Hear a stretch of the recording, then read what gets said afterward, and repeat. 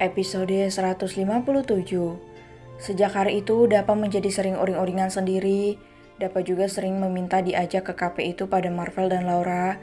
Dan setiap datang ke kafe sang papa Dapa, selalu membeli apa pun yang bisa dibeli di Indomaret itu.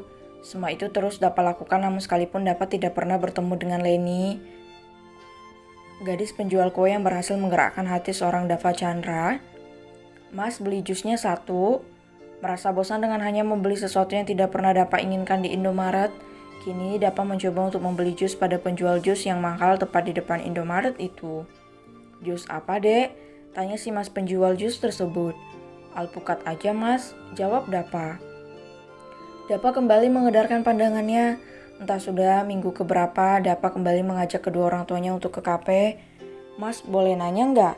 Tanya Dapa menoleh menatap penjual jus buah tersebut. Iya dek, nanya apaan? Tanya balik si penjual jus buah itu.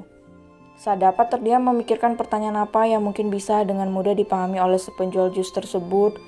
Penjual kue yang biasa duduk di samping gerobak mas udah nggak jualan lagi ya? Tanya dapat dengan sedikit tergagap. Penjual jus itu menghela napas dan mematikan blender yang sedang menghaluskan buah alpukat. Pria berkulit hitam itu kemudian menoleh pada Dapa yang berdiri di sampingnya. Dia sudah meninggal beberapa minggu yang lalu, dek. Jawabnya sendu. Jantung dapat rasa berhenti berdetak-detik itu juga. Gadis kecil yang dicari dan selalu ditunggunya sudah tiada. Su sudah meninggal? Tanya Dapa dengan dada yang terasa sesak.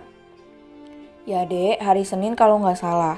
Dia berniat pulang karena dagangannya sudah habis. Tapi ternyata dari arah barat ada mobil yang melaju kencang dan menabraknya begitu saja Kejadiannya sangat cepat dan dia meninggal dengan keadaan yang sangat mengenaskan.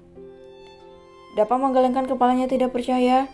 Bocah tampan berkaus hitam itu mencoba mengingat-ingat lagi. Gadis itu berjualan kue dengan seorang wanita dewasa. Dan tiba-tiba dapat berpikir bisa saja yang meninggal tertabrak mobil adalah wanita dewasa. Itu bukan gadis kecilnya. Ada kenal sama Mbak Atun? Memangnya? Tanya penjual jus buah itu sambil menuang jus buah buatannya ke dalam wadah. Namanya Mbak Atun. Tanya Dapa mulai merasa memiliki harapan itu kembali. Iya dek. Dapa menghela napas lega, itu artinya Dapa masih mempunyai kesempatan untuk bisa bertemu dengan gadis penjual kue tersebut. Ya udah, berapa mas? Tanya Dapa sambil mengeluarkan uang 20 ribuan. 15 ribu aja dek. Oke ini ambil aja mas kembaliannya. Kata Dapa tersenyum kemudian berlalu dengan membawa jus buah alpukat yang dibelinya. Pagi ini seperti biasanya, Dapa keluar dari mobil Marvel dengan Davi juga Diva. Mereka bertiga bergantian menyalimi Marvel yang juga ikut keluar untuk melihat mereka masuk ke dalam area sekolah elit itu. Yang pintar ya belajarnya, nanti siang papa jemput, senyum Marvel. Oke papa, kompak ketiganya menjawab. Marvel tersenyum, lambaian tangannya mengiringi langkah trio kembar itu masuk ke dalam tempat mereka akan menimba ilmu. Kak, Kata Charles hari ini akan ada murid baru di kelas kita. Dava dan Dapi yang melangkah berjajar mengernyit menatap pada Dipa yang tersenyum lebar seperti sangat senang. Charles, memangnya dia tahu dari mana? Tanya Davi bingung. Ya kan murid barunya tetanggaan sama Charles? Jawab Dipa. Sedang Dapa kakak pertama dari trio kembar itu hanya diam saja enggan menanggapi obrolan adiknya yang menurutnya tidak penting. Kakak ke toilet dulu ya, katanya kemudian memisahkan diri dari Davi dan Diva.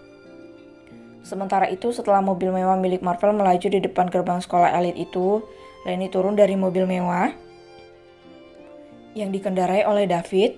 Gadis dengan kunciran tinggi itu tersenyum menatap megahnya sekolah barunya. Gimana sayang? Suka nggak? Tanya Ariana yang sudah berdiri di samping Lenny.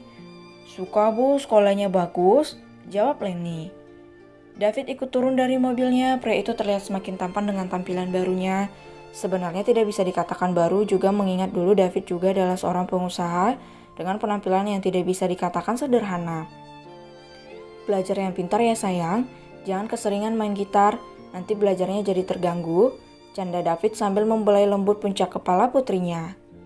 Ariana tertawa mendengarnya, putrinya memang tidak pernah tidak membawa alat musik kesukaannya, yaitu gitar berukuran tidak terlalu besar yang dibelikan Ariana saat itu, Memang tidak mahal harganya tapi Leni sangat menyukainya dan selalu memainkannya. Ayo sayang, biar ayah sama ibu antar. Leni menggelengkan kepalanya menolak. Gadis kecil itu tidak ingin dikatai manja oleh teman-teman barunya nanti. Kenapa? Tanya Ariana bingung. Leni sudah besar ayah, ibu, Leni bisa masuk sendiri. Jawabnya. David dan Ariana tertawa pelan mendengarnya. Tidak mau memaksakan kehendaknya pada sang putri. David dan Ariana pun menganggukkan kepalanya mengiyakan keinginan Leni yang ingin mandiri dengan sendirinya. Baik kalau begitu, selamat belajar di tempat baru sayang. David berjongkok dan mengusap penuh sayang pipi cabi Leni. Pria itu benar-benar sangat bahagia sekarang bukan karena harta melimpah yang dimilikinya dan Ariana sekarang, tapi kebersamaannya dengan Ariana dan Lini yang begitu manis. Meskipun sepertinya Ariana memang belum bisa menyerahkan seluruhnya untuk David, tapi David akan terus berusaha untuk sabar. David yakin perlahan tapi pasti Ariana akan bisa membuka hati untuknya. Ya ayah, angguk Leni tersenyum manis. Leni kemudian menyalimi David dan Ariana. Sebuah kecupan sayang Leni dapatkan dari David dan Ariana sebelum berlalu masuk ke dalam area luas sekolah elit itu. Ariana menggalai dengan senyuman manis yang terukir di bibirnya menatap Leni yang tampak begitu semangat melangkah di antara kerumunan murid-murid yang mengenakan seragam yang sama, seragam kebanggaan sebagai murid yang bersekolah di sekolah internasional di kota itu. Sudah? Tanya David lembut. Ariana menoleh pada David kemudian mengangguk. Wanita berdress biru muda itu kemudian masuk kembali ke dalam mobil dengan David yang membukakan pintu boleh aku ikut ke perusahaan? David yang saat itu hendak menghidupkan kembali mesin mobilnya terdiam.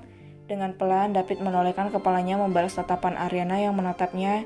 Hari ini memang hari pertama David sebagai pimpinan baru menggantikan Valerie di perusahaan. Jabatan tinggi itu milik Ariana sebenarnya tapi Ariana pasrah padanya dan Valerie langsung setuju dengan hal itu. Jujur aku sedikit ragu, kata David pelan. Ariana mengerti mungkin David merasa posisinya hanya sebagai pengganti yang sebenarnya tidak terlalu dibutuhkan. Padahal sebenarnya Peleri saja lebih setuju jika David yang turun tangan menangani kepemimpinan di perusahaannya. Cup, sebuah kecupan yang didaratkan di pipi David oleh Ariana membuat pria itu terpaku dengan kedua mata sedikit melebar. Untuk aku dan putriku, tolong hilangkan rasa ragu itu walaupun hanya seujung kuku.